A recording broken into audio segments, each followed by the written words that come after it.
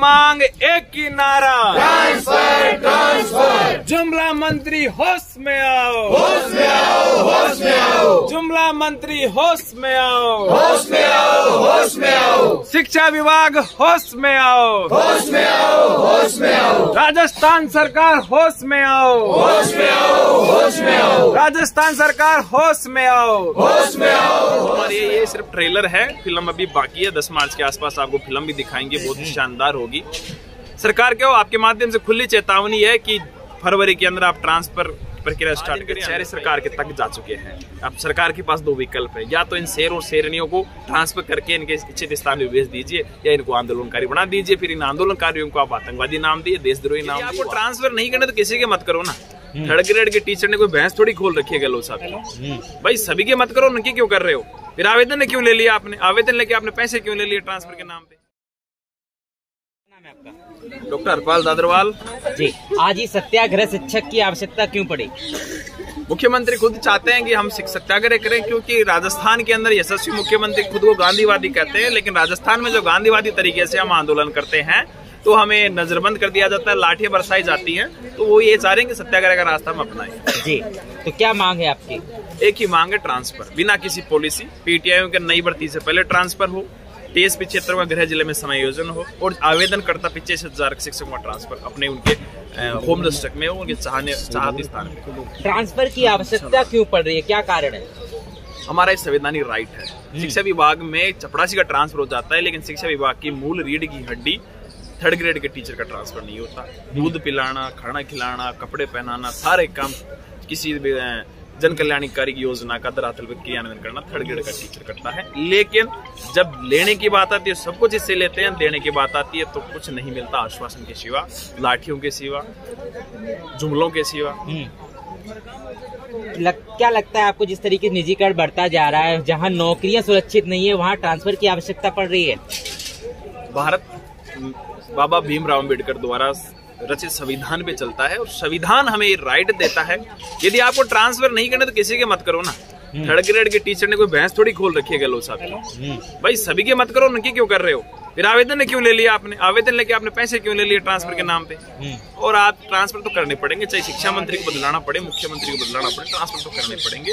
तो एक माझी फ़िल्म का शानदार डायलॉग है जब तक तोड़ेंगे नहीं जब तक छोड़ेंगे नहीं तो ट्रांसफ़र जब तक नहीं करेंगे जब तक कैसे करवाएँगे। लोकतंत्र के अंदर चाहे धरना प्रदर्शन अनशन आमरण कानूनी प्रक्रिया जो उस हद तक जाना पड़ेगा हम जाएँगे ट्रांसफ़र करवाएँगे। सरकार तो कह रही है कि हम तो अपनी विधियाँ बिल्कुल ठीक कर रहे हैं। सरकार कह रही है आपको तो मैं अनुरोध करूँगा कि आप लोकतंत्र का चौथा स्तंभ राजस्थान आइए। हमारी राजस्थान की अतिथि देवो भव की परंपरा बड़ी शानदार है और वीर और वीरांगनाओं की भूमि एक बार आइए और हकीकत देखिए। आपकी पीड़ा क्या है सर? हमारी पीड़ा शिक्षा विभाग को शिक्षा विभाग रहना दिया जाए इसको डाकिया विभाग न बनाए। इसको क्लर्क विभाग न बनाए विडम्बना है कि हमारे पिचानवे प्रतिशत शिक्षक हमारे बच्चों को सरकारी स्कूल में नहीं पढ़ा पा रहे हैं क्योंकि शिक्षक को पढ़ाने के लिए स्कूल ही नहीं भेज रही सरकार मैं जहाँ स्कूल में हूँ सबसे पुरानी स्कूल है मैं एडवांस्ड हूँ। मेरे पास आठ का स्टाफ है। आठ के आठ के स्टाफ को बी बना रखा है और अलग अलग एजेंसियों एग्जामों में करवा रखा है। बच्चे पढ़ने के लिए आते हैं अभिभावक वापस ले जाते हैं। कितने टीचर हैं? राजस्थान में आठ लाख लगभग कार्मिक कार्यरत हैं जिनमें से लगभग एक लाख पच्चीस हज़ार के आसपास। अलग अलग जगह से आए हैं। जी आज ये जो हमारे ये सिर्फ़ ट्रेलर है फ़िल्म अभी बाकी है दस मार्च के आसपास आपको फ़िल्म भी दिखाएँगे बहुत ही शानदार होगी।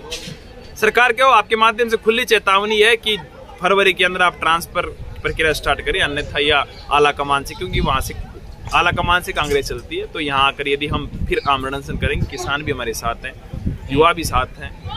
तो उसके लिए चाहिए फिर हमें आमरण अनशन का पढ़ना पड़े ऐसी जगह करना पड़े पैदल मार्च करना पड़े। आज जंतर मंतर आना पड़ा था इसके लिए क्या है सर? अभी आए थे यहाँ था आज आपके माध्यम से बात पहुँच रही है सोशल मीडिया के माध्यम से अभी मैंने पीएमओ के अंदर भी लेटर दिया है जहाँ जाके आया हूँ। और एआईसीसी गया हूँ वहाँ मुझे कल 11 बजे एआईसीसी के जो अध्यक्ष है खड़गे जी उन्होंने बुलाया है। तो कल विस्तार से वो चर्चा होगी यदि सहमति बनती है ट्रांसफ़र प्रक्रिया स्टार्ट करते हैं तो कोई दिक्कत नहीं है। हरपाल दादरोड़ा कोई नेता नहीं बनना यदि ट्रांसफ़र नहीं करते हैं तो मार्च के अंदर 10 मार्च को मैं जो कहता हूँ, मैं करता हूँ, मैंने पिछले साल कहा था, सात फरवरी से अनशन में बैठूँगा अनशन मैंने किया। मैंने कहा, दिल्ली, राजस्थान की यात्रा करूँगा कि 27 तारीख को तबादला आक्रोश निकाली, इस आज की डेट में जंतर मंत्र पे घेराव किया। और यदि ऐसा नहीं होता तो दस मार्च से मैं इस- इसी जंतर मंत्र पे तबादलों की मांग को लेकर आमरण से बैठा और विभाग भी तो है सर वो भी सर आपके जगह की वो सभी भी विभागों को ट्रांसफ़र हो रहे हैं तबादला उद्योग खुले हैं राजस्थान के अंदर बोलियाँ लग रही हैं मंत्रालय बिखर रहे हैं। इतना बड़ा आप इल्ज़ाम लगा रहे हैं कि बोलियाँ लग रही हैं सर? बिल्कुल आप जिस दिन कोई संविधान मैं तो कहता हूँ मेरे पे केस करें मानहानि का मुकदमा करते मुख्यमंत्री जी शिक्षा मंत्री जी और ये मेरे पे केस करें यदि संवैधानिक संस्था मेरे से प्रूफ लगी तो प्रूफ देने के लिए तैयार। विश्व गुरु में गुरु सुरक्षित है आज। मैं और देश की तो बात करूँगा राजस्थान की स्थिति तो बड़ी विकट है। कुछ बोलते लोकतांत्रिक अधिकार है संवैधानिक अधिकार है वहाँ पे कुछ बोलते हैं तो सीधा सस्पेंड करता है। मैंने वो दर्द सहा है। मैंने नो मैंने सस्पेंड रहा हूँ मैं। मैंने अनशन किए हैं। और भी कई साथी अभी अपनी सिर्फबाजी मांग उठाने के लिए सस्पेंड चल रहे हैं। हम्म, आज ये जो शेर दिल शेर जो शिक्षक और शिक्षिकाएँ हैं आज इनके चेहरे सरकार के तक जा चुके हैं। अब सरकार के पास दो विकल्प है। या तो इन शेर और शेरणियों को ट्रांसफ़र करके इनके इच्छित स्थान में भेज दीजिए, या इनको आंदोलनकारी बना दीजिए, फिर इन आंदोलनकारियों को आप आतंकवादी नाम दिए, देशद्रोही नाम दिए, वो आपकी इच्छा पर